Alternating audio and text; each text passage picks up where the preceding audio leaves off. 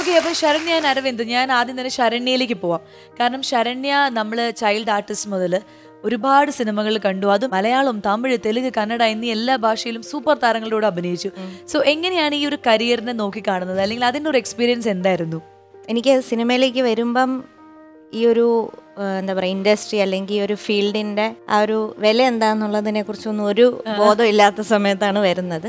പക്ഷേ ഈ സിനിമ ചെയ്തുകൊണ്ടിരിക്കുന്ന കാല സമയങ്ങളിൽ നമുക്ക് നമ്മളെക്കാളും ഒത്തിരി കഴിവുള്ള ആൾക്കാർ വെളിയിലുണ്ട്.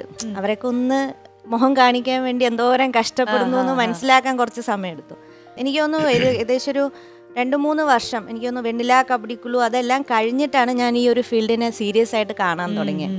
നമ്മൾ അതിനെ അപ്പോഴത്തേക്ക് സമയമെല്ലാം കഴിഞ്ഞു. കല്യാണം കഴിച്ച്. ഈ താങ്കൾ ഈ ആലപ്പുഴക്കാരിയായി ഈ കുട്ടിയെ തിരുവനന്തപുരം കാര്യമാക്കിയത് ഭയങ്കര വലിയ കഥയാണോ? ഏയ് അത്ര വലിയ കഥയൊന്നുമില്ല.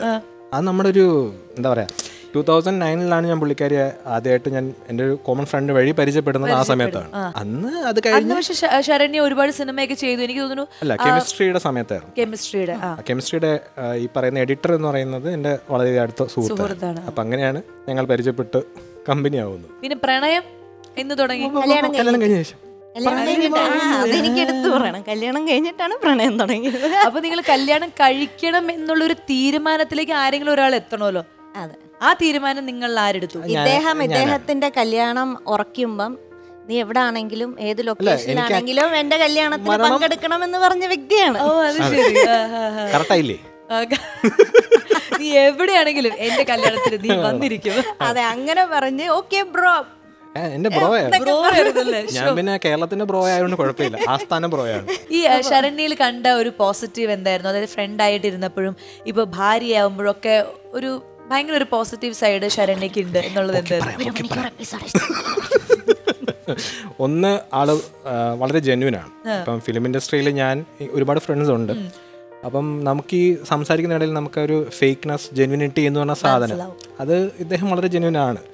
അപ്പോൾ ആ ഒരു വളരെ പോസിറ്റീവാണ് പിന്നെ പുള്ളിക്കാരിക്ക് ഒരു ചെറിയ ഫ്രണ്ട് സർക്കിളേ ഉള്ളൂ. ഓക്കെ കാരണം വെച്ചാൽ ഒരു പരിധി കൂടുതൽ പുള്ളിക്കാരി ആളെ അടുപ്പിക്കില്ല. അല്ല അത് അത് വേറൊന്നും കൊണ്ടല്ല. അതൊരു ഭയങ്കര കോഷ്യസ് നേച്ചർ ആയതുകൊണ്ട്. പിന്നെ കുറേ ഉണ്ട്. നല്ല ആർട്ടിസ്റ്റ് ആണ്. നന്നായി. എനിക്ക് ഇദ്ദേഹത്തിന്റെ ഡാൻസ് ഭയങ്കര ഇഷ്ടം ഡാൻസ് ഭയങ്കര ഇഷ്ടമാണ് അതെന്തൊക്കെയാണെന്നറിയോ വീട്ടിൽ ചെന്നാൽ തിരിച്ച് കാണേണ്ടതാണ്. എന്റെ നടുവേ ഇത്. പല ഓർമ്മകളും ചേട്ടന്റെ മനസ്സിലൂടെ മിന്നി പാകും തിരിച്ച് ചേട്ടന്റെ കാര്യത്തിൽ എന്താണ് ഒരു പോസിറ്റീവായിട്ട് അല്ലെങ്കിൽ പോസിറ്റീവ് പോസിറ്റീവ് മാത്രം ചോദിച്ചാൽ മതി. നെഗറ്റീവ് മതി എനിക്ക്. നെഗറ്റീവ് ഈ പറഞ്ഞ കണക്ക് ഇഷ്ടമല്ലെങ്കിൽ അപ്പ പറയും. അപ്പ പറയും. അത് പോസിറ്റീവ് ആണ്. ചില സമയത്ത് നെഗറ്റീവ് ആണ്. അത് ചിലപ്പോൾ ആൾക്കാർ ആരാന്നുള്ളത് ഞാൻ ഓർക്കാറില്ല. അതെ. അതൊരു അല്ല അവിടെ പുള്ളിയുടെ ആ ഒരു ഭാഗം അങ്ങ് ക്ലിയർ ആയി. ആക്കും, പക്ഷെ എന്താ പറയാ മനസ്സിൽ വെച്ചിട്ടില്ല പറഞ്ഞിട്ട് ഞാൻ അതാ പറഞ്ഞ ചിലപ്പോ പോസിറ്റീവ് ആവാം ചിലപ്പോൾ ഈ ചേട്ടൻ അതായത് അഭിനയത്തോട് ഭയങ്കര താല്പര്യമുള്ള ഒരാളാണെന്ന് എനിക്ക് പല വീഡിയോസും കണ്ടപ്പോൾ തോന്നിയിട്ടുണ്ട്. കുഞ്ഞിൽ എന്തെങ്കിലുമൊക്കെ അതുപോലെ ഓഡിഷൻസിന് പോവുക അല്ലെങ്കിൽ അഭിനയം ഒരു ഓഡീഷന് ഞാൻ പോയിട്ടുള്ളൂ. അത് ഞാൻ പറഞ്ഞിട്ടുണ്ട്. ട്വന്റി സെവൻ ഇരുപത്തേഴാമത്തെ വയസ്സിൽ പോയിട്ടുണ്ട്. പോയിട്ടുണ്ട്. അത് കിട്ടി. കിട്ടിയില്ല. കിട്ടി. കിട്ടി. എന്നിട്ട്? അമ്മ പറഞ്ഞു. "ദേ, ഇവിടെ വന്നാ അല്ല ആ സമയത്ത് എനിക്ക് മറ്റേ എം ഡി എസിന്റെ അഡ്മിഷനായി എന്ന് നല്ലോണം എന്റെ വീട്ടിൽ വീട്ടിലെന്ന് വെച്ചാൽ അച്ഛനും അമ്മയും പ്രോസസ്സാണ് അപ്പം അവിടെ കല എന്നുള്ളതിനേക്കാൾ ഉപരി ഈ പഠിത്തം എന്ന് പറയുന്നതിനൊരു ഒരു ഇതാണ്. അപ്പം നീ അവർ പറഞ്ഞൊരു കാര്യമുള്ളൂ. നീ പി ജി എടുത്തോ അത് കഴിഞ്ഞിട്ട് നീ എന്ത് വേണം ചെയ്തോ. അപ്പോഴേക്കും പ്രായം കഴിഞ്ഞു. എന്ന് ആ വഴിക്ക് പോയ പിന്നെ പറയാൻ പറ്റില്ല. പറയാൻ കാരണം പറ്റില്ല വീഡിയോസ് ഒക്കെ എടുത്ത് ഇപ്പൊ ഡോക്ടർ ആയല്ലോ. ഇനിയിപ്പോ സിനിമയിൽ അഭിനയിച്ചൂടെ? ഞാൻ മാത്രം വിചാരിച്ച പോലെയല്ലോ അല്ല ഇനി ഇതുപോലെ ഓഡീഷൻസിന് പോണം അല്ലെങ്കിൽ ആരോട് അങ്ങോട്ട് എന്റെ ഒന്ന് സിനിമയിൽ എടുക്കും. ഞാൻ പറയുന്നുണ്ട്. ഞാൻ പറയുന്നു. ഫ്രണ്ട്സ് ഉണ്ടെന്നല്ല പറഞ്ഞത്. എല്ലായിടത്തും ഞാൻ പറയുന്നുണ്ട്. പക്ഷെ അവരെല്ലാം തമാശയാന്ന് പറഞ്ഞിട്ട് നമുക്ക് തള്ളി കളയുന്നുണ്ട്. നിന്റെ ഒരു കാര്യം ചേട്ടൻ സ്വന്തമായിട്ട് പ്രൊഡ്യൂസ് ചെയ്തൊരു സിനിമയിൽ നായകനായിട്ട് ഞാൻ എല്ലാം പറഞ്ഞിട്ടുണ്ട്. ഞാൻ ആ ഒരു കാര്യം മാത്രം പറഞ്ഞിട്ടുണ്ട്. ചേട്ടാ നല്ല ഫീൽഡാണ് അഭിനയം. എല്ലാം നല്ല പക്ഷെ പ്രൊഡ്യൂസർ സിനിമ അഭിനയം മാത്രമേ ഉള്ളൂ അതേ സിനിമയിൽ വേറെ ഏതെങ്കിലും മേഖലയിൽ എനിക്ക് ടെക്നിക്കൽ സൈഡാണ് ഇഷ്ടം. ടെക്നിക്കൽ സൈഡാണ് ഇഷ്ടം. ഏതാണ് ഡയറക്ഷൻ റൈറ്റിംഗ് ആണ് എന്റെ മെയിൻ റൈറ്റിംഗ് കഴിഞ്ഞ ഒരു അഞ്ചു കൊല്ലമായിട്ട് ഞാൻ സ്ക്രിപ്റ്റ് എഴുതിക്കൊണ്ടിരിക്കുകയാണ്. എന്തായാലും ആ സ്ക്രിപ്റ്റ് എത്രയും പെട്ടെന്ന് പൂർത്തിയാവട്ടെ എന്നിട്ട് അതൊരു സിനിമയാവട്ടെ. അതിൽ നായിക രണ്ട് നായിക വേണോ ഒരു നായിക വേണോ എന്നൊക്കെ നിങ്ങൾ തീരുമാനിക്കണം. അത് രണ്ട് നായിക എന്ന് പറഞ്ഞതിന് കാരണം എന്താണെന്നുള്ളത് വേണമെങ്കിൽ അഭിനയിച്ചോ. നായകന്മാരുള്ള സ്ക്രിപ്റ്റ് ഒക്കെ എഴുതും. അത് ലാംഗ്വേജ് താണ്ടി താണ്ടി വേറെ എവിടെയെങ്കിലും പോവോ എന്നുള്ളതാണ്. ഏത് ജോണർ ആയിരിക്കും എഴുതാൻ താല്പര്യം? സിനിമ ചെയ്യുകയാണെങ്കിൽ അല്ലെങ്കിൽ എഴുതാൻ? ഇൻവെസ്റ്റിഗേറ്റീവ് ത്രില്ലേഴ്സ് ആണ് എനിക്ക് ഇഷ്ടം ഓ ശരി. ഞാൻ എം ഡി എസ് മാത്രമല്ല ഞാൻ പി ജി ഡിപ്ലോമ എടുത്ത ഫോറൻസിക് സയൻസിലാണ് ക്രിമിനോളജി അങ്ങനത്തെ. അപ്പം അതിന്റെ അകത്തോട്ടൊരു ചായ്വുണ്ട്. ഈ അതായത് ജീവിതത്തിൽ എന്തെങ്കിലും സിറ്റുവേഷൻസ് ഒക്കെ എപ്പോഴെങ്കിലും എഴുതിയിട്ടുണ്ടോ? അതായത് നല്ല ഫണ്ണി ആയിട്ടുള്ള എക്സ്പീരിയൻസോ മോശമായിട്ടുള്ള എക്സ്പീരിയൻസ് എന്തെങ്കിലും? കഥ എഴുതുന്നതിനകത്ത് എന്തായാലും നമ്മുടെ അനുഭവം വരും. വരും. ഇപ്പം ഇപ്പോൾ പറയുന്ന ഞാൻ മെഡിക്കൽ കോളേജ് തിരുവനന്തപുരത്താണ് ജനറൽ കോളേജിലാണ് പഠിച്ചത്. അപ്പം നമുക്ക് കാഷ്വാലിറ്റി ജീവിതങ്ങളുണ്ട്. അത് ഒരുപാട് എന്താ പറയുക നമുക്ക് ഞാൻ ഞാൻ തമാശയായിട്ട് പറയുന്നതാണ് കാഷ്വാലിറ്റി പോയി നിന്ന് കഴിഞ്ഞാൽ ജീവിതം എത്രമാത്രം നല്ലതാണെന്ന് നമ്മൾ മനസ്സിലാക്കും.